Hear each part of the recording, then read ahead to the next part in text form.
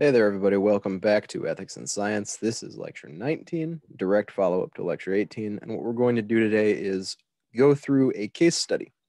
So, this is really just one long exploration of something that I want you to talk about in your discussion post for the week. So, without further ado, I will share my screen and we'll get into it. Now, you might ask yourself, and I think I talked about it already in the previous lecture, why are we doing it this way?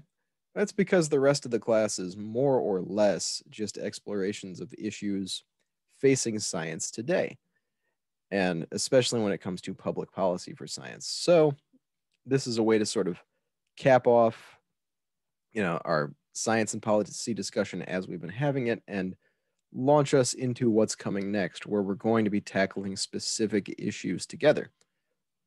Um, using the same meme as before because I am quite tired and still recovering from a little bit of a cold. It was not coronavirus because folks in my house were tested and that didn't come out to be that.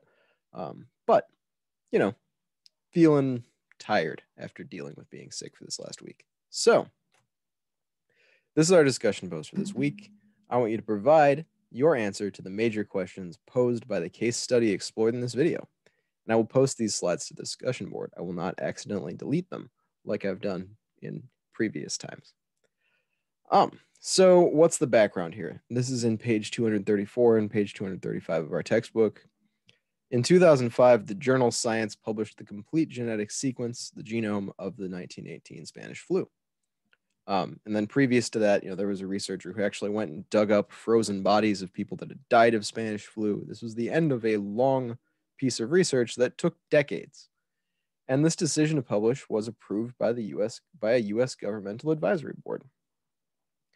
And you know, we know that other deadly viruses and bacteria have been synthesized or modified for the purposes of threat assessment or academic research in other cases.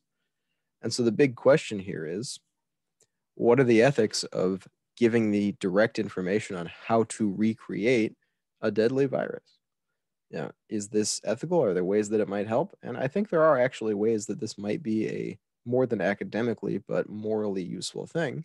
But it carries a significant amount of risk. And this is where, you know, like it says in our book, but also I'm going to say here, we need to weigh, you know, as a society, threats, risks, and benefits all together.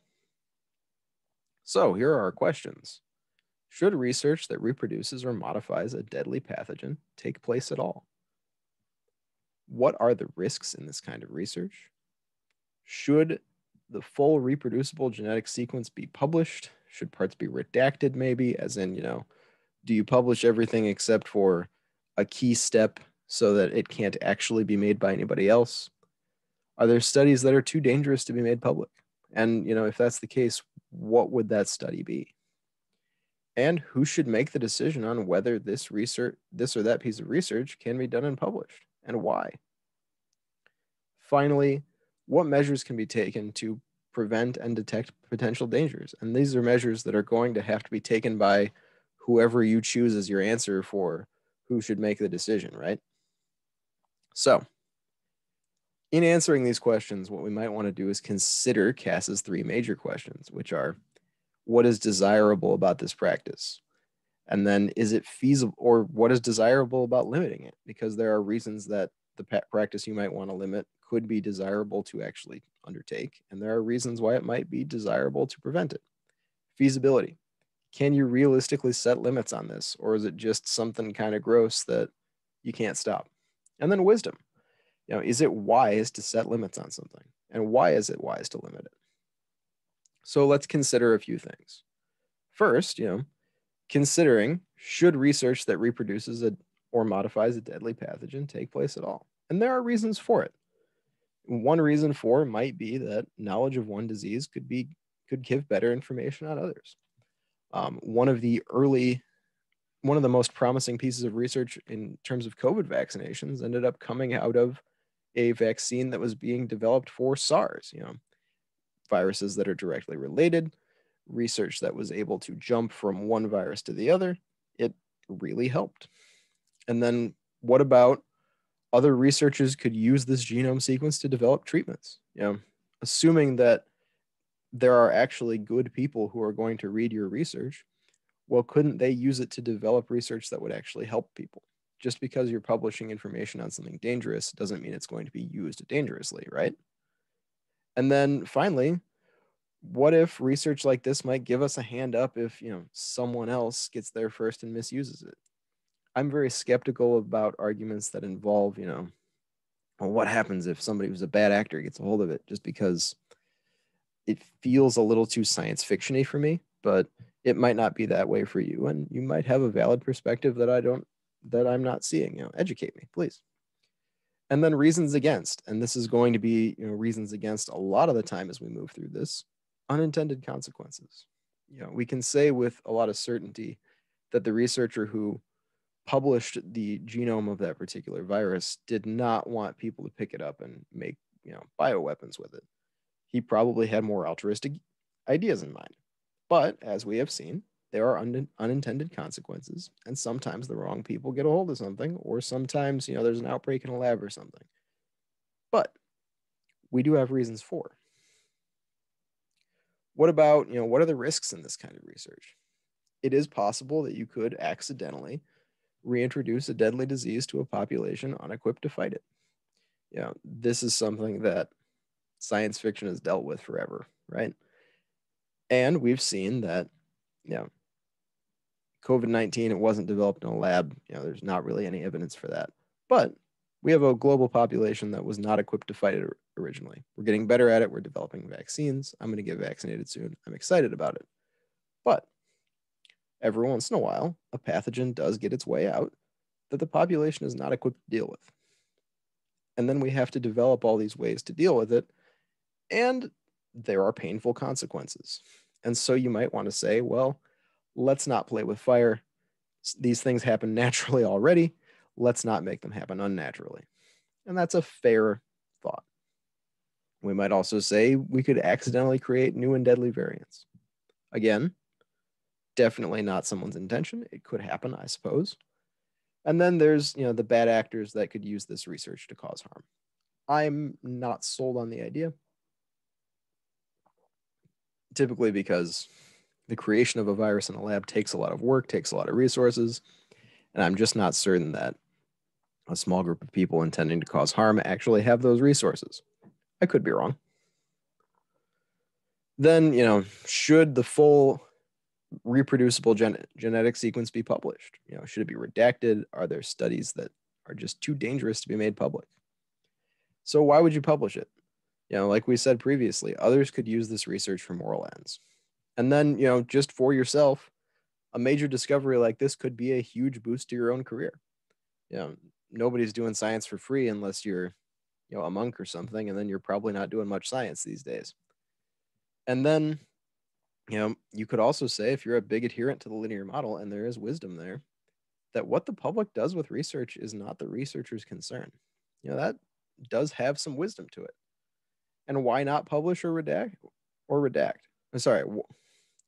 Yeah, why not publish it? Why would you redact it? Well, again, potential dangers and risk.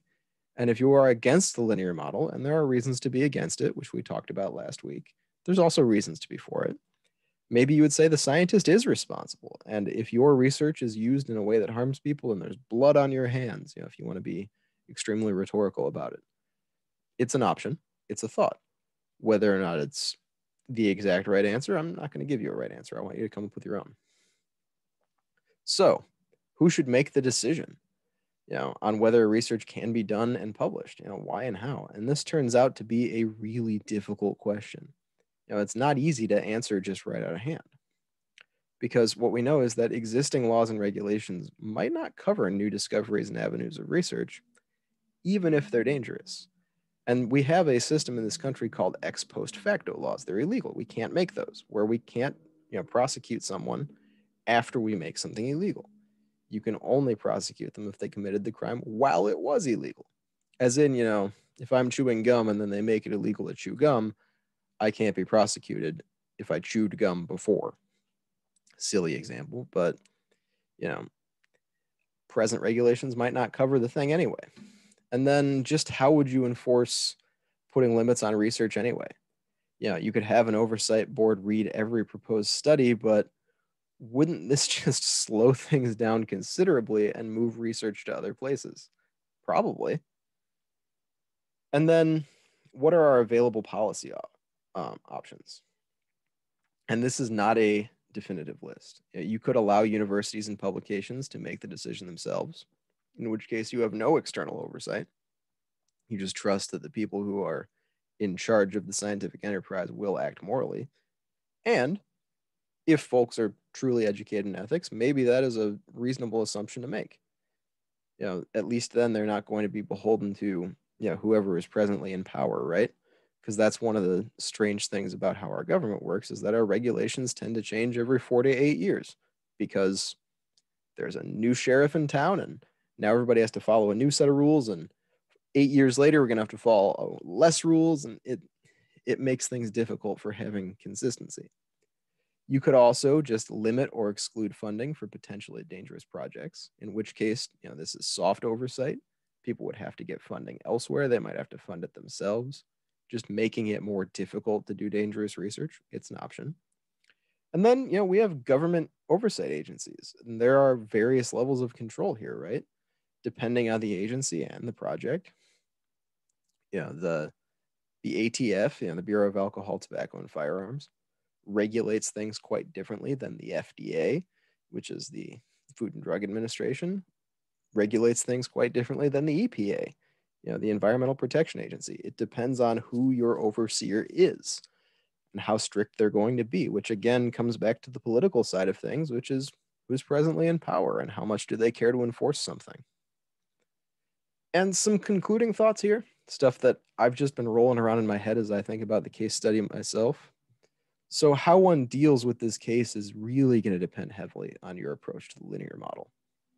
Now, if you are a big adherent, adherent to the linear model, and there are reasons to be, then external oversight doesn't make any sense, right? Because science produces morally neutral work that then gets pushed out to society, and society makes the call. And so you don't need external oversight. Yeah, publish the work. Don't worry about what happens with it it'll be people who oversee what's done with it that'll be the ones to have to make the moral decision. And then something else I was thinking about, and it came up previously, is that in some cases, scientists overseeing science policy might actually lead to harsher restrictions than we think. You know, we've kind of been going along with a line of thinking in this class that scientists would not want to be regulated. And that's not necessarily true. You know, people who understand the dangers might set up harsher regulations. For example, climate scientists. If we put climate scientists in charge of our climate policy, my guess would be that these long term goals that are actually much more reachable in the short term would be shorn up. You know, people who understand the danger are going to make the rules stricter. That's just a simple thought for that. So I'm going to go back to the actual list of questions in case you want to pause the video for those. And we can kind of end it here. What I want you to do is I want you to answer these questions, 250 words or more on the case study we had previously. I will also throw some other notes into our discussion post on the week that this is due. Other than that, I know this is a very short video. I went long in the previous one, and I want you to, with your time for class this week, really go through this exercise and just you know come to a decision really weigh the options. Anyway that is all i have for you for this video. I hope that you are staying healthy and well. And if you need anything in terms of preparation for the final i'm going to start working on that too just as soon as i get through the next week of lectures. I want you to all have a good day have a good week and i will see you in our discussion post soon